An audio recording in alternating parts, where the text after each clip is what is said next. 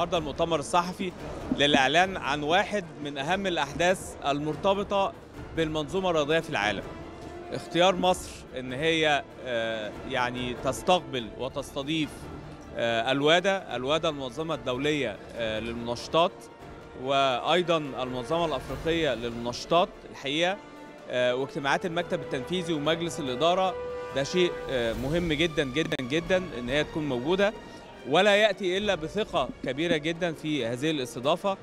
آه، عن نفسي بشكر مجلس إدارة النادو المصري آه، الحقيقة على الجهد آه، الهادي بلا يعني ضوضاء عمل مضني بفكر وبعلم بشكل يعني لا تتخيلوه. المنظمة المصرية لمكافحة المنشطات هي المنظمة المحلية اللي موجودة في مصر وهي تقوم بعمل أعتقد أن العالم كله الآن أو الوادع الآن المنظمة الدولية آه، تشعر بالجدية في آه، مكافحة المنشطات في مصر ومراقبة اللاعبين والملاعب وكافة الألعاب وأنها موضوعية للغاية بالرغم من أننا نعلم أن معظم اللاعبين لهم شعبية هنا وهناك لكن العمل الجاد أعتقد أنه لا لا يستطيع أن يكون في آه، أو يراعي الشعبية أو غيرها لأن هذه هي مصلحة مصر في هذا الشأن.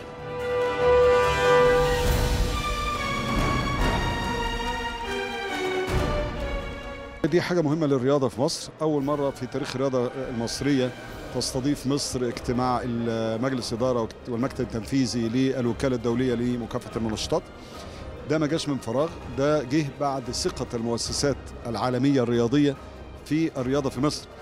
آه، مصر الرياضة في مصر في الفترة الأخيرة آه، يعني حققت إنجازات آه، مهولة. وده بدعم من القيادة السياسية والحكومة المصرية ووزارة الشباب والرياضة المصرية والشعب المصري نفسه. تخيلوا إن مصر دي أول دولة في العالم تنظم بطولة عالم كأس العالم لكرة اليد أثناء جائحة. وهو ده اللي فتح الباب لكل آه، البطولات اللي بعد كده. إحنا مصر دلوقتي في level 1 أو بيقولوا عليها tier 1 level 1 في الرياضة. آه ليه؟ لأن آه إحنا اولا في عدد من الميداليات الأولمبية في ال ranking بتاعنا بقى أفضل. آه بنشارك في بطولات ال ranking بتاع الولاد بتوعنا الرياضيين بتوعنا بقى كويس جدا في البطولات الدولية. ومصر بتستضيف آه، بطولات عالم كتير. وفي الأهم بقى من ده كله إن كمان آه، إن لينا برنامج مكافحة منشطات قوي وفعال. ده فده بيثبت إن الرياضة نظيفة. فبرنامج فاحنا دلوقتي حاليا حتى ال NADO بتاعنا اسمه Tier 1 NADO يعني على المستوى ال level بتاعنا رقم واحد. فعلشان يبقى في رياضة كويسة وفي نفس الوقت في مكافحة منشطات فده خلى ال level بتاعنا يوصل ل level 1 وإفريقيا كلها ما فيهاش غير دولتين بس في ال level ده.